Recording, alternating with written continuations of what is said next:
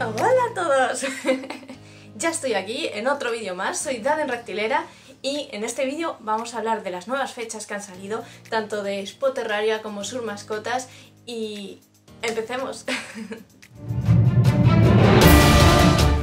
Y antes que nada tengo que mandar unos agradecimientos muy especiales. El primero es debido a esta camiseta que estáis viendo aquí, que la hicieron realidad unos amigos. Yo solo tenía lo que es un diseño, yo hice este diseño tan molón y la frase ha quedado precioso, pero sin estas personitas no se habría llevado a cabo, no se habría materializado en esta camiseta, así que me hace mucha ilusión también porque viene de parte de ellos y con mm, uno de mis lemas de la buena vida tiene escamas, que la veis aquí abajo, y me hace mucha ilusión y tenía que mandar este saludito y este agradecimiento. Muchas gracias a los tres. Además por aquí atrás también tengo un mensajito muy mío, como buena iguanera y, y, que muchísimas gracias. Y el segundo agradecimiento viene por esta cosita tan hermosa, ¿vale? Ha crecido, ¿eh? Ha crecido.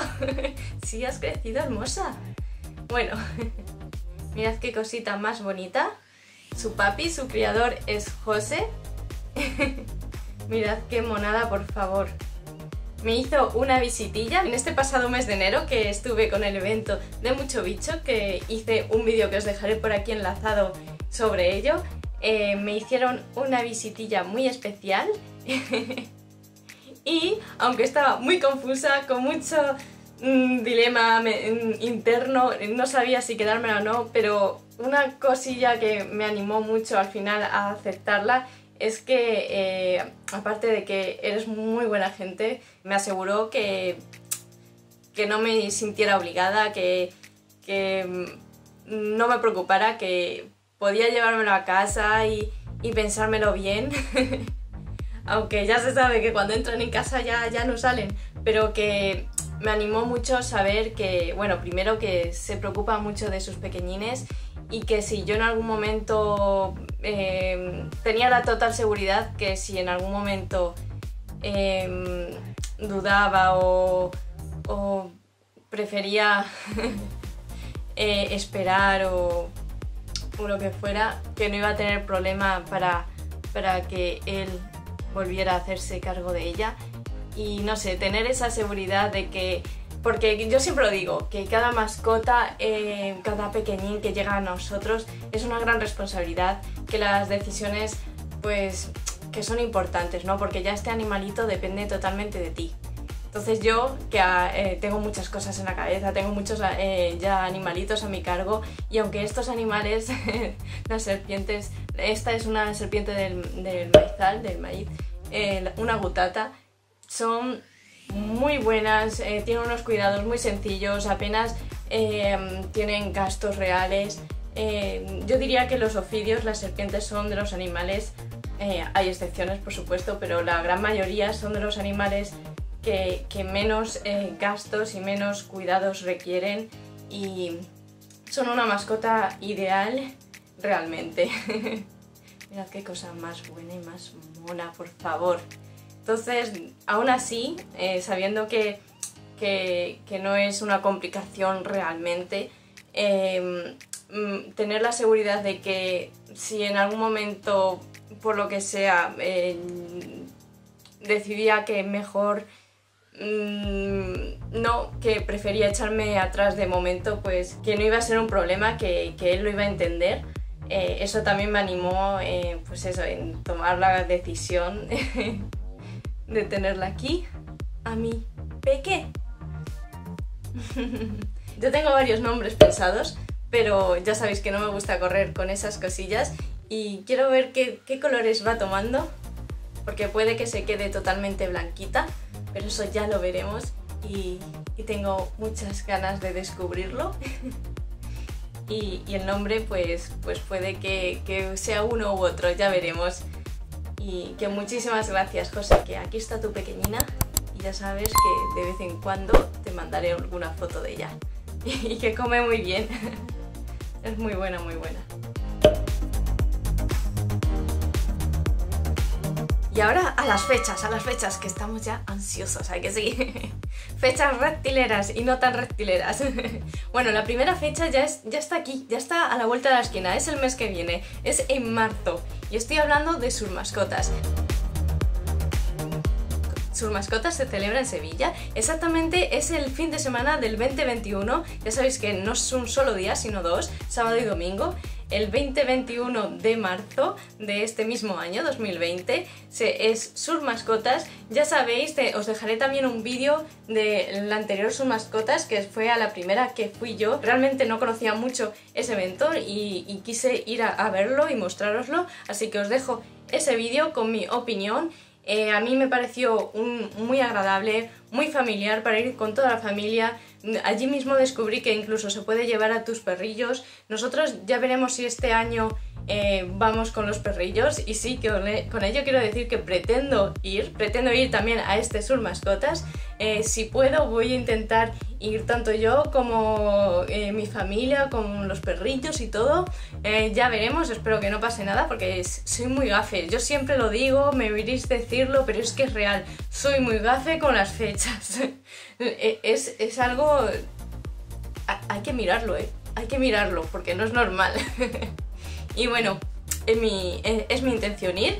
Eh, tengo muchas ganas de ir a verlo, de, saludar a la gente y, de pasármelo genial con la familia como la anterior vez, que ya digo que, me parece ideal para eso, para ir en familia. Igual no es tan centrado, tan em, mm, específico de compra-venta, compra-venta. Eh, por supuesto tiene su sección de reptiles, tiene el Reptil Sur, casi se cae. Y que por supuesto tiene su sección de reptiles, Reptil Sur.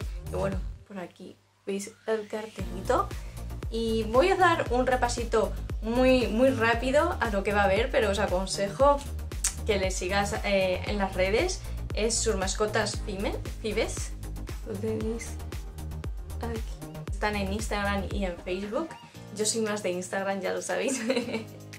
y bueno, eh, por ejemplo, aquí dice, si los reptiles son tu pasión, podrás disfrutar de ellos en Sur Mascotas 2020 con el evento Reptil Sur, un espacio único y exclusivo para los reptileros, que se celebrarán los días 21 y 22 de marzo, que ya lo sabemos, y podrás encontrar todo tipo de complementos, materiales, posición de terrarios, alimentación para tus reptiles y todo lo necesario para disfrutar de ellos y mejorar su calidad de vida. Así que ya sabéis, tienen todo esto que estamos acostumbrados, ¿no?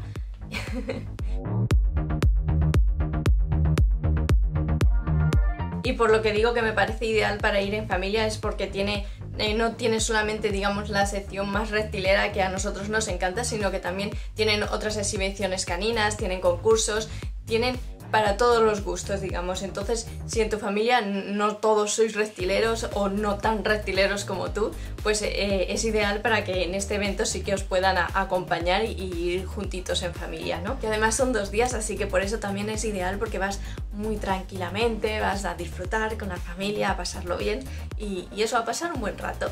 Insisto, pasad por las redes para informaros con más detalle, pero aquí vamos a hacer un repaso muy rápido. Por ejemplo, también tiene un espacio para los amantes eh, de las aves, eh, aves ornamentales, palomas anátidas, paisanes, sureñas. Eh, por aquí también veo Sociedad Andaluza de Entomología, va a estar en sus mascotas. Es una asociación científica cuyos objetivos principales son la conservación. Y podemos ver aquí el cartelito. Podéis leer todo con mucho más detalle en sus redes y muy importante, muy importante y por lo que también me encanta es que tienen una sección de adopción. ¿Veis? tienen un espacio que está dedicado a la adopción, normalmente de perros y gatos. No sé si igual eh, incluirán eh, roedores, pero yo lo que más vi son perritos y, además eh, son buenísimos. Pero bueno, ya sabemos cómo son. También por aquí dice, celebraremos este año de nuevo el campeonato de peluquería canina en el espacio de sus mascotas, así que también si tenéis algún familiar o simplemente os gusta verlo, también veis que tienen más eh, actividades.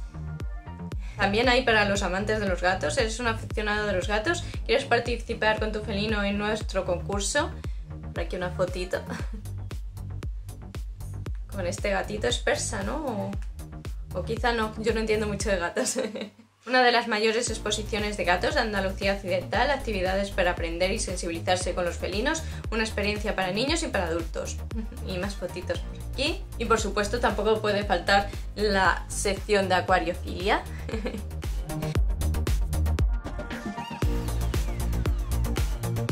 con su concurso de aquascaping, que yo vi un trocito en la anterior vez, en la anterior edición, y, es que es espectacular ver cómo trabaja la gente los acuarios y, y que quedan unas obras de arte preciosas, preciosas. Puedes participar y montar tu acuario para sorprender a todos los visitantes. Si quieres participar, tienes que inscribirte, así que ya sabéis. Tenemos la suerte de contar otro año más con la Asociación Acuariofilia Sevillana, Aqua Sevilla, así que ya sabéis, también en este cartel podéis informaros de más.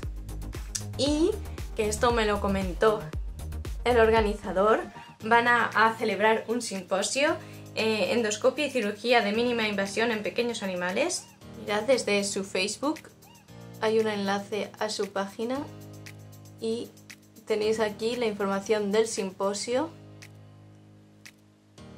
Complace informarle un año más de la celebración de la tercera edición del Congreso dedicado a endoscopia y cirugía de mínima invasión en pequeños animales que se celebrará los días 20 y 21 de marzo de... Una vez más, el Congreso se desarrollará en paralelo. La, la, Si seguís bajando, tenéis por aquí el programa. Además está llenito a todas horas. Hacen pausas, por lo que he visto, pausa para el café, pausa para almorzar, ese tipo de cosillas y, muy muy completo todos esos temas. Así que nada, pues eh, como veis hay un montón de cosas que os recomiendo que lo miréis, que veis que os gusta más, que, que valoréis el ir eso en familia que, creo que es el momento adecuado para aprovechar y, si se puede incluso inundarles y contagiarles de vuestro amor, tanto reptilero como no reptilero. Y un saludito a Arterrarios, que también va a estar en sus mascotas. Y, un saludo amigo, que, ya sabes que me encantan tus terrarios. Y, y, nada, y nada, que yo tengo muchísimas ganas de ir. Mira, otra exposición canina. y bueno, que aquí tenéis mucha información, os aconsejo pasaros por allí eh, tanto al evento como en sus páginas, en sus redes, para que os informéis bien. Y nada, que tengo muchas ganas de estar por allí, que además me lo habéis estado preguntando un montón, incluso antes de que sacaran fecha, mm, todos estos meses atrás me lo habéis estado preguntando y os recuerdo la fecha, 2021 de marzo de este mes que, que va a venir, que es en Sevilla, si no lo he dicho ya. Y, nada, que os animo y si puedo y si no pasa nada y si no cae un meteorito encima de mí, pues estaré allí con vosotros también, dispuesta a veros, a saludaros, a charlar un rato y nada, que, que allí estaré. Y si os estáis preguntando, vale, sí, ¿y Espoterraria? ¿Qué pasa con Espoterraria? Pues de Espoterraria todavía no tenemos mucha información, están preparando la próxima que se va a celebrar también dentro de poquito, que va a ser en abril, así que todavía hay tiempo, hay tiempo, pero sí que ya han lanzado todas las fechas del año, todas las fechas que tienen planeado que haya una Espoterraria. Tenemos la primera, que va a ser, como ya he dicho, en abril, el 4 del 4 de 2020, el 4 de abril de 2020, va a ser en Barcelona, y la siguiente que va a haber en Barcelona va a ser hasta hasta octubre, el 17 del 10 del 2020, el 17 de octubre de 2020. ¿Vale? Van a estar esas dos en Barcelona. Y en Madrid también tenemos dos fechas. La primera que se va a celebrar en Madrid va a ser en mayo, el quinto mes, el 30 del 5 de 2020 repito, el 30 de mayo de 2020 y la siguiente y la última del año me imagino va a ser en noviembre, el 28 de noviembre de 2020. Esas dos fechas para Barcelona y estas otras dos fechas para Madrid. ¿Vale? Voy a repetir para que veáis si las habéis apuntado bien, pero como os digo, seguidles por las redes sociales porque mismo aquí ya tenéis una imagen con las nuevas fechas, ¿vale? En Barcelona, como hemos dicho, el 4 del 4 de 2020 va a ser la primera, que es eh, además la primera de esta edición de 2020, y la siguiente será el 17 del 10 del 2020. Luego en Madrid va a ser el 30 del 5 de 2020 y el 28 del 11 de 2020. Una en abril, otra en octubre, otra en mayo y otra en noviembre. ¿Vale? Espero que los hayáis apuntado bien y si no, ya sabéis, id a las redes que allí también lo tenéis publicado. Lo único que puedo avanzar sobre Spotterraria es que en torno a abril van a lanzar las nuevas publicaciones, van a lanzar información, van a ver, eh, van a saber más o menos quiénes van a estar presentes y más o menos es cuando va a estar todo ya claro. Y también en abril será cuando salgan ya en venta las entradas anticipadas, porque ya sabéis que las entradas las podéis conseguir de las dos maneras, tanto online eh, anticipadamente como allí eh, físicamente, presencialmente en las taquillas, en las taquillas que hay fuera del recinto. Y nada, eso es todo. Los que tengáis ganas de ir, que estéis deseando que ya se acerquen estas fechas, espero que os lo hayáis apuntado todo muy bien, que tanto en Expo Terraria como en sus mascotas, a las que vaya, a las que pueda ir, espero encontrarme con muchos de vosotros y, daros saluditos.